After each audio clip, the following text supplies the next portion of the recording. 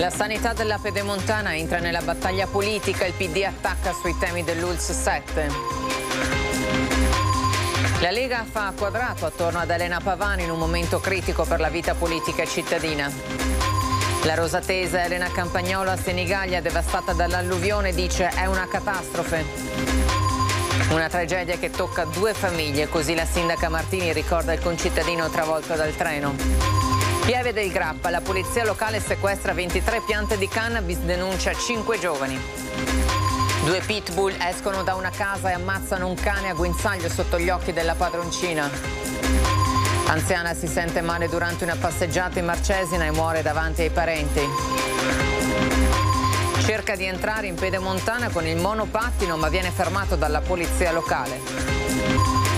Sorpreso a sotterrare Calcinacci, denunciato dai carabinieri un imprenditore.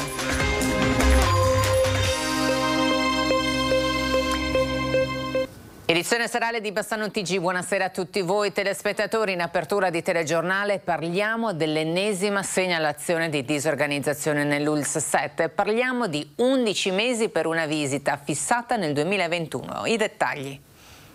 11 mesi per una visita oculistica, chiesta ad agosto, fissata a luglio 2023, con buona pace di chi annuncia liste d'attesa quasi azzerate. Se prima i problemi erano tanti causa disorganizzazione nell'azienda sanitaria del DG Carlo Bramezza, adesso ai disagi si è aggiunto anche il disappunto di chi vive sulla propria pelle le lungaggini della sanità e si sente dire dai vertici dell'ospedale che va tutto bene. Sentite cosa ci racconta questa paziente di Bassano che ha chiesto una visita oculistica e si è sentita rispondere così dal CUP. Mi ha detto che sarebbe stato disponibile a Marostica, ma la prima disponibilità il 24 luglio del 2023 e che non potevano rispettare la, eh, la tempistica insomma, dell'impegnativa. Ma come? E le priorità e il supporto ai pazienti e le attese ridotte quasi a zero? I cittadini si chiedono come possa combaciare questa realtà con quella presentata dall'ULS 7 in un recente comunicato stampa. Una situazione che mette in imbarazzo anche chi lavora in ospedale. Sentite cosa ha detto un'operatrice del CUP alla signora che provava a farsi dare un appuntamento. Ho parlato anche con, l'operatrice al telefono, insomma, e lei mi diceva guarda io mi vergogno di proporle questa data, però purtroppo, quindi loro poveracci si trovano a fare un lavoro in questo momento mm, cioè chissà parole che prenderanno tutto il giorno, insomma, mi metto nei panni di chi magari ha una patologia o comunque mh, mm, dei sintomi, qualcosa che deve verificare presto, ok? E si vede impossibilitato a fare la visita. Alla luce dei fatti, la signora sottolinea come sia importante continuare a segnalare i disagi anche se... Visto che c'è tanta gente, è meglio, è meglio segnalare sempre queste cose, insomma, eh, perché insomma, si fa numero perlomeno, anche se poi ho visto che nessuno, sembrerebbe che a nessuno interessi e quindi chi di dovere intendo. Eh. E come sempre i nostri microfoni restano a disposizione di tutti. E la sanità della Pedemontana entra nella battaglia politica e il PD attacca sui temi dell'ULS 7. La sanità piomba nella campagna elettorale e l'ULS 7 entra a pieno diritto fra i temi più caldi del momento. Apre le danze il candidato del PD Enrico Letta che mette i puntini sulle I riguardo alle responsabilità della gestione della sanità. Chiediamo alla Regione Veneto un'attenzione molto maggiore rispetto ai territori che sono i territori più, più, remoti e più lontani perché il vero guaio di questi tempi è stato ed è veramente la questione dei servizi lontani dai territori. Crediamo che questo sia un punto essenziale. Letta presente a Bassano per una visita alla Baxi e in Val Brenta per parlare della viabilità della Valsugana, punta il dito anche sulla volontà politica di chi vede nella sanità prima i bilanci e poi i pazienti, proprio quello che molti cittadini contestano ai vertici dell'UL7. Il nostro programma, il nostro progetto è un progetto che riparte dall'esigenza eh, dei fruitori di sanità innanzitutto e quindi da un investimento unico, netto e chiaro sulla sanità pubblica Eh, noi vogliamo togliere quel tetto alla spesa del personale sanitario che dal 2004 fu messo da Tremonti all'epoca, era il, messo il tetto alla spesa del personale sanitario meno un per cento ogni anno. Eh, purtroppo era una norma che fu messa, che non è stato possibile togliere in tutti questi anni, ma con la pandemia si è capito che invece quella norma va tolta. Eppure sui medici di famiglia il PD non le manda a dire chi gestisce la sanità della Pedemontana, dove tante volte abbiamo raccontato i disagi di chi si è trovato senza un dottore o con un medico d'ufficio lontano, troppo lontano per anziani e persone in difficoltà. Ecco la proposta. Un forte incentivo eh, nella medicina di territorio e in particolare nei medici di famiglia che sono stati durante la pandemia, si è visto quanta importanza hanno, ma veniamo da una lunga fase nella quale sono stati assolutamente marginalizzati e bistrattati. Il concerto di Andrea Bocelli a Marostica è stato un evento di rilevanza mondiale e conferma una volta in più la leadership della città murata in un territorio che vede Bassano sempre meno centrale. Il concerto evento di Andrea Bocelli a Marostica ha avuto addirittura rilevanza mondiale con ospiti decisamente VIP che sono arrivati dall'estero per godersi lo spettacolo. Presenti anche, secondo i ben informati, ricchissime personalità arabe in un profluvio di elicotteri e limousine. La cittadina murata arrivava al clou delle manifestazioni estive portando in dote una partita a scacchi da tutto esaurito, con alberghi strapieni e presenze turistiche in grado di rivaleggiare con i dati pre-Covid. Abbiamo avuto eh, il picco massimo di quello che vuol dire essere internazionali. Eh, la nostra città è stata letteralmente invasa da turisti stranieri, si sono registrati l'oltre 65% di biglietti venduti a, persone, a persone che arrivano da anche paesi extra Europa e eh, quindi la città è stata letteralmente invasa da turisti canadesi, da sudafricani, da Australia, da um, Sud America, Nord America, Russia e naturalmente tutti gli altri paesi europei. Veramente eravamo una babele di persone. Se Marostica ride, l'altopiano si bea dei 150.000 visitatori che sono accorsi a settembre per il ritorno di Made in Malga, per non parlare dell'onda lunga della dunata triveneta degli Alpini, che a luglio ha riportato Asiago e dintorni al centro dell'attenzione nazionale. Insomma, un'estate da incorniciare per il territorio che ormai pare destinato ad avere una nuova gerarchia. Bassano sembra scivolare nella classifica nonostante l'appeal e il gran lavoro fatto dalle categorie economiche per tenere alta la bandiera giallorossa. E mentre Marostica si coccola il nuovo ruolo di gioiello della corona con l'altopiano verde smeraldo a far da prezioso contorno, a Bassano i temi sono decisamente diversi. La faccenda infatti non è solamente turistica e a voler leggere fra le righe la differenza si nota anche nella vicenda quasi parallela del Teatro Politeama di Marostica e dell'Astra di Bassano. Nel capoluogo, che secondo molti è destinato a essere un ex capoluogo, i temi caldi vanno dalle dimissioni del vice sindaco Marin all'estromissione del sindaco Elena Pavan dal direttivo della Lega Cittadina e dal pasticciaccio di San Lazzaro a quello di Santa Chiara fino alla scuola di Sant'Eusebio, i bassanesi non sanno più che santi chiamare. E la Lega fa quadrato attorno al sindaco Elena Pavana in un momento molto delicato per la vita amministrativa e politica cittadina. Andrea Viero, un clima politico rovente in eh, città, le opposizioni attaccano il eh, primo cittadino per eh, la situazione che si è venuta a creare, ma la squadra sta, si è messa attorno a Elena Pavan. Assolutamente, la squadra tiene, nei prossimi giorni verrà anche definito l'assessore che sostituirà l'ex vice sindaco eh, Marin, quindi si tira diritto tranquilli fino al 2024. Su queste polemiche sulla perdita di, di, potere del sindaco, sul fatto che sia stata abbandonata uh, dal, dal vice sindaco, qual è la posizione del partito? ma il partito è tranquillissimo, siamo andati tra l'altro anche a rinnovo di sezione, con una sezione rinnovata, siamo tutti ovviamente attorno ad Elena Pavan e si tira dritto appunto fino al 2024. Una spiegazione sul fatto che il sindaco non figura nel direttivo in questo momento. Ma è stata una scelta condivisa, capisco le minoranze che giustamente fanno la loro parte, devono cavalcare ogni onda che gli si presta, è una cosa concordata assolutamente per far crescere altri ragazzi in sezione. Di diritto Elena Pavan così come il vicepresidente Finco possono partecipare ai direttivi, quindi nessuna esclusione. E a Senigallia, colpita dall'alluvione di ieri, vive da quattro anni la vicentina di Rosà Elena Campagnolo e nella eh, città marchigiana è assessore all'ambiente. E così ci racconta la situazione come ora. La situazione è abbastanza catastrofica. Comincia così il racconto di Elena Campagnolo, originaria di Rosà, che da quattro anni vive a Senigallia, dove è assessore comunale all'ambiente.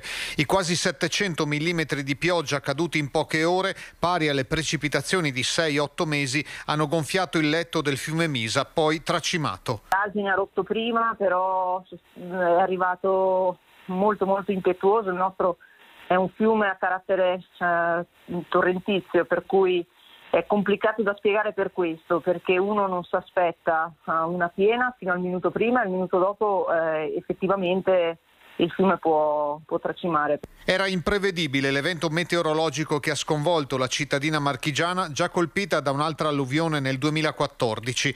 La conta delle vittime è ancora in corso, così anche quella dei danni materiali. Siamo in attesa uh, più che altro degli aiuti perché uh, abbiamo um, diverse criticità in questo momento più di 100 sfollati e quindi è, è, gente che ha perso qualunque cosa. Nelle ultime ore solo una tregua con qualche squarcio di sole ha permesso di iniziare a ripulire la città, ma in arrivo un'altra allerta meteo che potrebbe aggiungere danno a danno. Tra le altre cose eravamo ancora in stagione, quindi noi qui alcuni hanno perso anche completamente gli stabilimenti balneari perché poi l'ondata di piena sostanzialmente si è eh, riversata in mare e da lì ha avuto un'onda, quasi un'onda anomala e, ed è andato a distruggere tutti i diversi stabilimenti balneari della, della zona più centrale di Senigallia.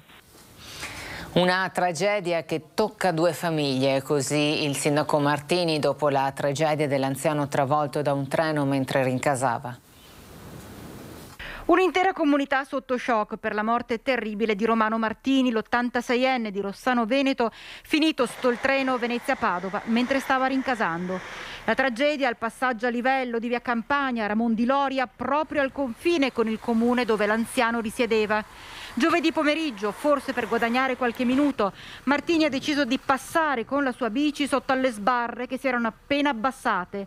Da alcune testimonianze si sarebbe attardato sui binari nello stesso momento in cui il treno stava arrivando. Inutile il tentativo disperato del conducente di frenare. L'86enne è stato spazzato via dal convoglio, trascinato per alcuni metri. L'identificazione del corpo solo dopo ore in quanto non aveva con sé documenti, una vicenda che ha sconvolto anche la sindaca di Rossano Veneto, Morena Martini, che ben conosceva l'anziano e la sua famiglia. La moglie di Romano è una persona molto conosciuta all'interno della parrocchia dove presta opere eh, di carità e d'aiuto tutte le settimane e anche il figlio Fabio è conosciuto nella comunità per l'impegno che ha profuso nel creare per esempio l'orto sinergico. Romano è una persona che vedevamo spesso in bicicletta girare per la nostra Rossano, colpisce il modo tremendo eh, che ha determinato la mancanza del signor Martini. Siamo vicini alla famiglia in questo momento di grandissimo dolore e siamo vicini anche, eh, è il caso di dirlo, al capotreno, al macchinista, eh, perché sono tragedie che segnano inevitabilmente la vita di due famiglie. Andiamo a Pieve del Grappa dove la polizia locale ha sequestrato 23 piante di cannabis e denunciato 5 giovani, di cui due minorenni. Coltivava 23 piante di canapa indiana nella veranda di un ex convento in località Fietta, Pieve del Grappa, dopo essersi assicurato che nessuno sarebbe riuscito a entrare. Non ha fatto però i conti con gli agenti della polizia locale che hanno incastrato e denunciato il diciannovenne incensurato residente in un comune limitrofo per coltivazione e detenzione di sostanza stupefacente ai fini di spaccio. Ma non è finita qui, la notizia della piantagione illegale pare si fosse diffusa tra i giovani, tanto che gli agenti della della locale hanno bloccato quattro ragazzi, di cui due minorenni, che tentavano con una mazza e un piede di porco di forzare una porta per raggiungere la droga. Denunciati per uso e possesso di strumenti atti ad offendere e violazione di proprietà privata. Fondamentale la segnalazione da parte dei residenti. I residenti ci hanno permesso e ci hanno aiutato di eh, capire eh, quali fossero i movimenti di queste persone che si recavano eh, quasi quotidianamente nella, nella, nella struttura abbandonata e quindi ci hanno permesso di eh, coglierli con le mani nel, nel, nel sacco. Il valore eh, della, della, canapa che veniva coltivata? Allora, il valore adesso non è quantificabile perché non è ancora stata, tra virgolette, raccolta. Sicuramente eh, il valore non è basso, è alto, perché le piante erano comunque conservate bene, erano state coltivate bene, quindi sul mercato avrebbero prodotto un, un discreto guadagno. Fa specie eh, il fatto che tra i, eh, i protagonisti eh, di questa vicenda ci siano anche i giovanissimi, i minorenni. Questo è un fatto preoccupante, tant'è vero che come amministrazioni stiamo puntando sempre più a potenziare politiche giovanili che vadano eh, a favorire nuovi stili di vita, buoni stili di vita. Paura oggi pomeriggio a Cassol dove uno scuolabus non si è accorto che l'auto che lo precedeva si era fermata e così ha centrato due veicoli. Forse una distrazione all'origine dell'incidente stradale avvenuto nel pomeriggio di venerdì 16 settembre in via San Pio X tra Bassano e Cassola. Coinvolti tre mezzi, tra cui uno scuola bus, per fortuna vuoto. Proprio il conducente del pulmino, che procedeva in direzione ovest-est, non si è accorto che l'auto che lo precedeva si era fermata per far passare sulle strisce un pedone. L'ha colpita in pieno. Dall'urto lo scuola bus si è portato nella corsia opposta di marcia proprio mentre sopraggiungeva percorreva un altro veicolo. Un impatto tremendo, danni ai mezzi, ma a parte qualche botta, nessuno ha riportato serie ferite. Il traffico è stato rallentato per diverse ore, creando pesanti disagi lungo una strada molto trafficata. E un cane è stato azzannato a morte da due pitbull nella campagna di Marostica. È metà mattina dello scorso venerdì. Una ragazza sta facendo una passeggiata lungo via Caboina col suo bastardino al guinzaglio. A un certo punto sbucano due cani pitbull liberi. La ragazza prova a cambiare strada, anche perché il suo animale era impaurito. Il più grande dei due pitbull però lo azzanna al collo, tagliando il guinzaglio e trascinandolo in un campo vicino. A quel punto io mi sono messa a urlare e si sono fermate delle persone che stavano passando di lì in macchina perché a piedi in quel momento non c'era nessuno. E niente, abbiamo non potevamo fare nulla, abbiamo provato a fermare il cane, ma comunque era pericoloso anche per noi, quindi non, non abbiamo fatto niente, abbiamo aspettato. Dopo più o meno 20 minuti il cane grande è andato via lasciando il mio cane morente a terra. Sul posto, allertata dalla stessa ragazza, la pattuglia di Marostica della Polizia Locale del Nord-Est Vicentino e i medici del servizio veterinario hanno verificato l'accaduto. Il proprietario dei due pitbull, identificato tramite il chip degli animali, li ha rimessi in sicurezza e rischia una multa per malgoverno di animali. Le indagini dovranno verificare perché i cani fossero liberi sulla strada. Appena il cane grosso è andato via, dopo l'attacco, io sono subito andata dal mio cane, però comunque avevo paura che l'altro cane tornasse perché io non sapevo dove era, non era, era scomparso, poteva tornare. Sì, avevo paura. Singolare intervento di una pattuglia della Polizia Stradale al casello di Bassano Ovest della Pedemontana. Mancavano pochi minuti alle 9 quando una pattuglia della Polizia Stradale di Vicenza è intervenuta al casello di Bassano Ovest della superstrada pedemontana Veneta. Nella corsia di missione verso il casello si era infatti introdotta una persona alla guida di un monopattino elettrico, veicolo che non può circolare su un'arteria stradale come quella. Le immagini di un nostro telespettatore di passaggio in quel momento documentano l'intervento degli agenti supportati da uno dei mezzi adibiti alla sicurezza lungo il percorso. Ennesima segnalazione di problemi per le corse di SVT. Oggi un autobus ha avuto un guasto all'altezza di Marsan fra Bassano e Marostica e decine di studenti sono stati lasciati a piedi. Settimana da incubo per il trasporto pubblico nella Pedemontana. Dopo l'inizio balbettante dell'anno scolastico con bus pieni e studenti lasciati a piedi, oggi si è verificato un altro problema che ha interessato decine di giovani. Il bus delle 12.30 partito da Bassano verso Tiene, pieno zeppo di studenti, ha avuto un guasto alle porte alla fermata di Marsan. Il contrattempo è stato segnalato ai viaggiatori che sono stati fatti scendere. Il papà di un pendolare ci ha raccontato che ai ragazzi è stato detto di proseguire a piedi o di aspettare la corsa successiva, che però era prevista solo tre quarti d'ora dopo. Molti si sono arrangiati, altri hanno aspettato il bus delle 13 passate e sono arrivati a casa con grande ritardo e l'anno scolastico è appena iniziato. Ora vediamo altre notizie dal territorio.